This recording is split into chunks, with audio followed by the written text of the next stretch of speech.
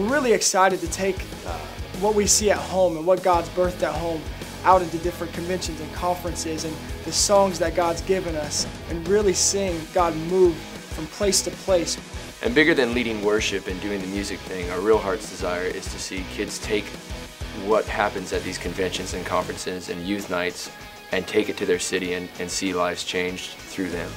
God is just basically hooked us up beyond what we deserve and being able to go out and share that with other people as an encouragement to say, hey, you know, God can use us, He can use you. You're the savior of my life. You're the one that I live high. You're the only one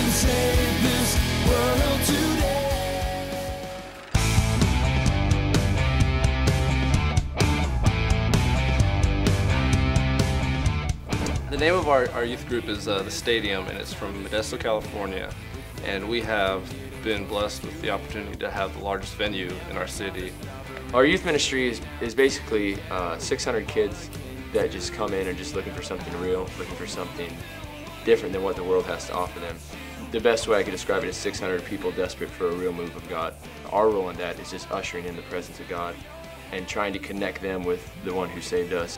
In 2005, our pastor um, encouraged us to have a worship night and bring out these songs that we wrote, about 25 of them. And that night, God just moved on the hearts of every young person that was in that room. Since that night, um, a year later, it was somebody from Australia named Henry Seeley from Planetshakers Band decided to record an album for us and bless us. And we recorded an awesome CD. We're excited about the project and what God did through it. And ever since then, we've just been leading worship all over.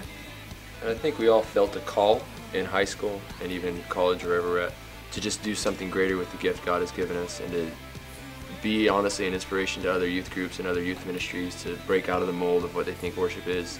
And we all ran with that call and did everything we could to, to do it with, with everything inside of us. You know? We've seen it at home. We've seen that move of God at home. We want to take that that DNA, that's that, that thing that was birthed there, and take it into other places. The name Worth Dying For came from, it says a twofold.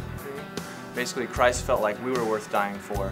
And on the flip side, uh, we live our lives in a way where we believe Christ is worth dying for. Our new CD cover has us standing there with blindfolds over our faces, and we, we're doing that as a representation, just saying that this movement that we want to see God do isn't about us. We honestly don't care if we're in it or not. We just want to see God move. Also, as we want to see a movement take place, that's something that you can't really see physically with your own eyes. The Word of God says, as far as you can see, I will give it to you. And it doesn't really talk about your physical eyes, but as far as you can see spiritually and have faith for, He will give it to us.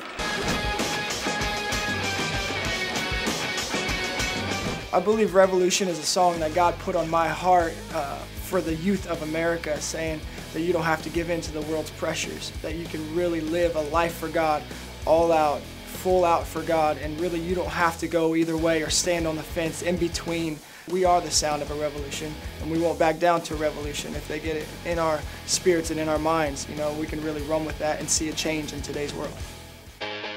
All day, I'm living for you. I'm singing, I won't back down or give up this fight. When I wrote the song Unite, I was in a spot of just getting fed up of religion, getting fed up of denominational barriers in all these different churches and seeing so many people get so caught up in religion rather than a relationship with Christ. And I wrote that as an anthem to say, united in this world, we're going to stand up for you. We don't care about what our personal beliefs are. We just want to see God lifted up.